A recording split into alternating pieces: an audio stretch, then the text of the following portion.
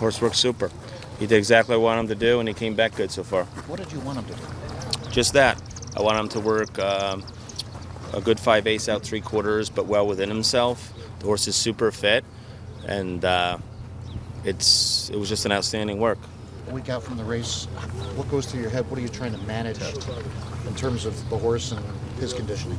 Just trying to get him in there happy and sound, and uh, he's a very rare horse. So um, if he could just get over there in the starting gate the right way and, and get a good trip, he's going to be tough to beat. What makes him unique to maybe? feel like you're making progress, taking him over there and getting him used to everything. Yeah, he's visited the gate twice this week, and he did really well. And uh, there's no need to take him back. What makes him kind of unique to some of the other horses that you have? He's just a, a naturally born rare talent. You know, this horse obviously he's been that way for probably his entire life. You're talking about a horse that's a two million dollar yearling, and he's by a a stallion that's went in the Hall of Fame, and the mother won a Grade One, and he's just he's everything you want as a trainer. Um, we're just trying to really stay out of his way. I mean, we, me and my team have been managing this horse, just trying to allow him to be who, who he was meant to be, um, and don't do anything to prevent him from getting there. Really, Seems like he has another gear. Is that fair? I'd say so. I mean, he's got a tremendous amount of power and endurance. he might not be the fastest horse early in his races, but once he gets moving, it, it does seem like his strides probably two to the horses next to him. Chad Tyler was on domestic product. Obviously, he rides Sierra Leone, but he was he rode that other horse as well in the Tampa Bay Derby. Talk to me about putting him on him as opposed to, to say Sierra Leone this morning. Well, my rider Chris Bond knows Sierra Leone so well, and everything's been going so so perfect with that um, relationship there. I wasn't thinking of ever not having him work the horse, meaning Chris.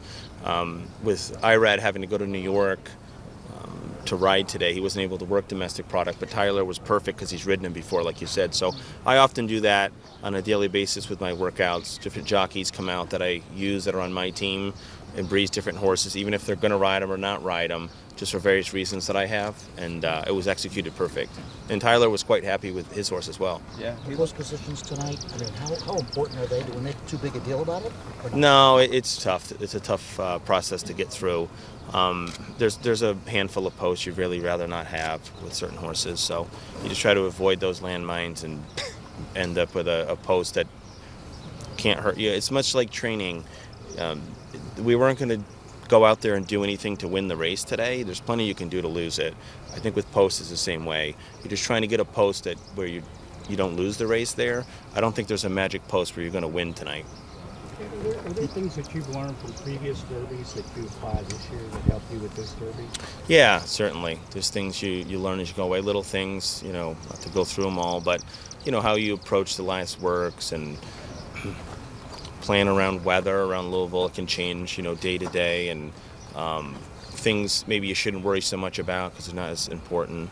Other things about schooling the horses and getting them used to surroundings and such. So you learn from what you're doing here, from things that worked well or mistakes, and you also keep your eyes open to people around you that are doing well, and you, sometimes you pick up a few things there. The ones you want to avoid are maybe the far inside. I think so. I, I don't know that anyone really wants to be buried way down in the first couple posts. Not so sure I want to be far, far outside either.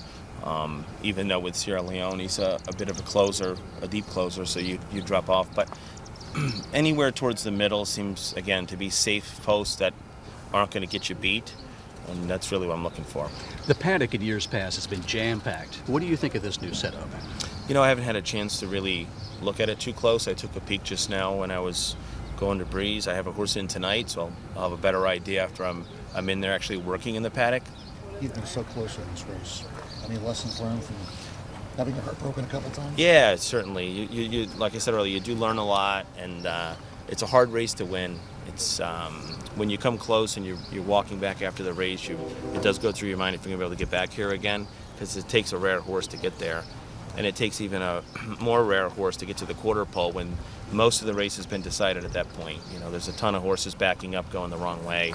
Um, I've been in a couple derbies where down the backside you're already done, and uh, but I've been probably three times I can remember turn for home. I thought the horse had a chance. So it's hard to get here to have two good horses with a chance. It's yeah, you feel very uh, fortunate. Given that you've been so close before, Chad, how would you kind of compare your confidence levels heading into this year's race with um, previous times you've come to good chances? I mean, I, I feel pretty confident. I mean, I've come in here before with a couple of horses. I mean, Good Magic, I was pretty confident the horse would run a big race. And with, with Zandon, I felt super confident a couple of years ago based on his last work here. And, uh, and, and both horses got really good trips. They didn't have any excuse.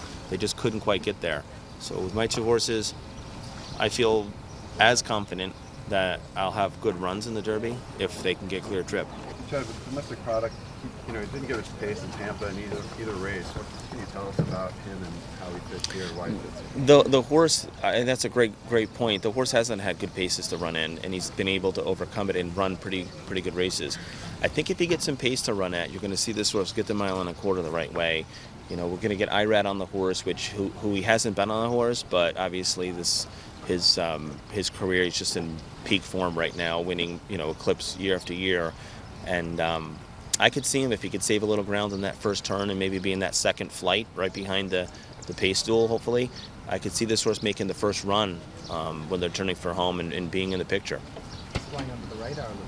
He's a beautiful horse, and I, I will say he's always been highly thought of. His form's a little more spotty, uh, a lot more spotty than Sierra Leone. It's not straightforward. In his debut, he caught some kickback, and he didn't didn't quite like it. We were all surprised, uh, including the jockey. Flavien Prat actually came out and worked him, and he, he, he begged to ride the horse. He said, I think this could be a Derby horse. When he first worked the horse, he knew back then when he worked him, and he, he just didn't fire. So, you know, then he came back and won a good race. Then he caught a muddy track at the Remsen, and he's kind of been all over. But this year, we took the blinkers back off him. He's two really good races, and I, I do expect him to run well.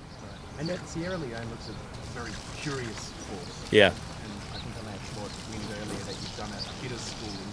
Any concerns about the big crowd on, on? No. would they be doing? No, he, he's a he's a very smart horse. He is a bit curious. You'll see him in the lane sometimes, kind of cock his head in and look.